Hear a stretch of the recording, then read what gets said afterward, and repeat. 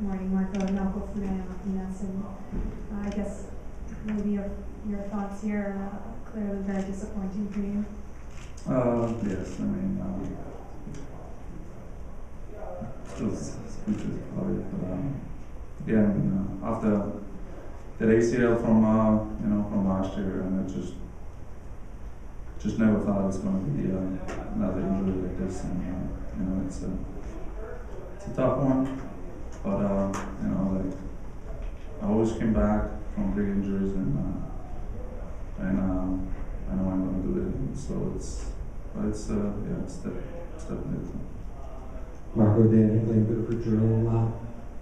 what do you remember of the, uh, of the, of the incident? yeah, I mean, uh, I tried to hit it, and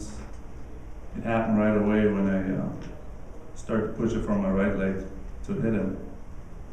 I got caught or something like that, and I know my, my knee twisted just, just a little bit, and, uh, and I could hear right away the big pop, and, um, I heard it again, uh, before, and I knew it right away.